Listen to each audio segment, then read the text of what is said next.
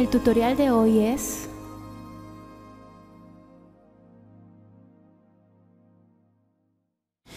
Hola amigos, para hoy vamos a hacer un girasol, un girasol no realista sino como para un muñeco. Lo que vamos a necesitar es una bola de icopor número 3 o número 4 que vamos a recortar por ambos extremos. Vamos a necesitar masa color amarillo, color café y color verde.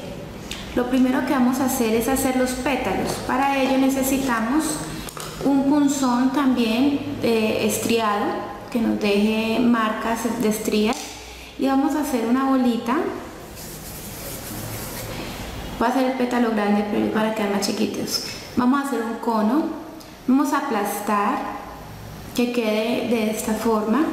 Luego con el punzón de estría marco y luego pellizco el final para que me quede con punta. Estos pétalos los debo hacer con tiempo para que estén secos porque lo siguiente que vamos a hacer es forrar la bola de copor que hemos cortado para luego empezar a colocar los pétalos la forramos bien aún por detrás vamos a, a darle forma a suavizar lo que tenemos acá. Bueno, una vez tenemos ya la parte de la semilla organizada, tratamos de que el centro nos quede un poquito más hundidita, que nos quede muy muy pulidita.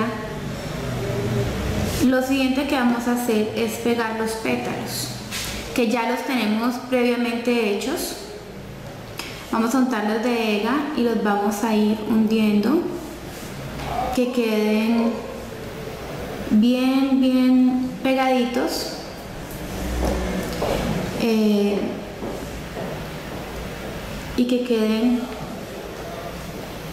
casi que pues muy alineados, muy organizados, así.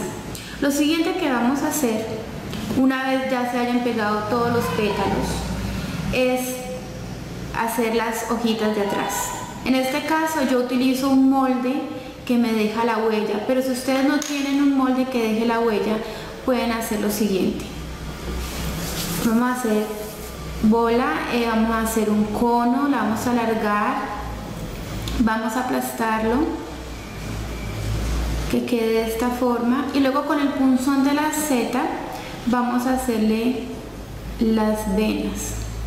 Hacemos de, de esta forma y luego en las intersecciones.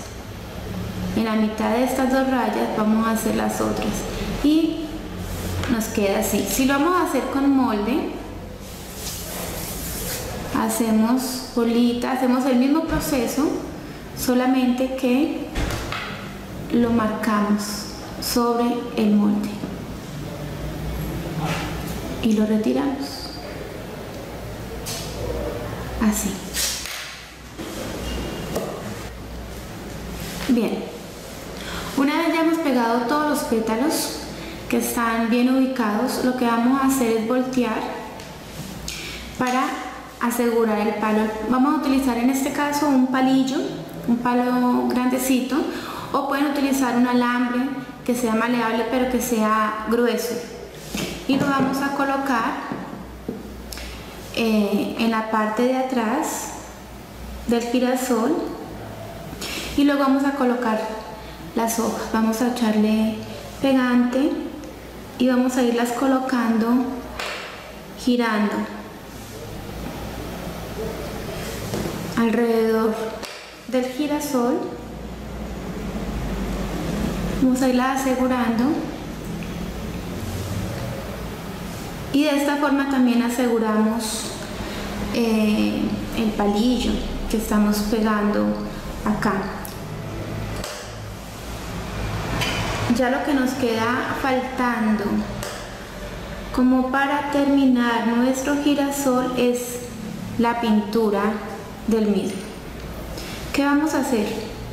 vamos a coger con un pincel eh, más o menos viejito Vamos a untarlo un poquito de óleo para profundizar estas partes internas de los pétalos. Esto nos va a dar más volumen en el pétalo. Hay que, después de que se carga el óleo con el pincel, vamos a descargar un poco para que no nos salga mucho. Y lo siguiente, con un poquito de acrílico, como enseñábamos en los otros tutoriales, un poco de acrílico descargado sobre un trapito, sobre un papel, vamos a hacer una brocha seca en un lado. Una vez todo esto esté seco y así como en este vamos a trabajar una brocha seca en las partes de la semilla, la más eh, levantadita, para que eh, nos dé luz y vamos a hacer unos puntitos blancos para eh, terminar el, el girasol. Bueno, espero que les haya gustado. En el próximo tutorial vamos a hacer otro tipo de girasol.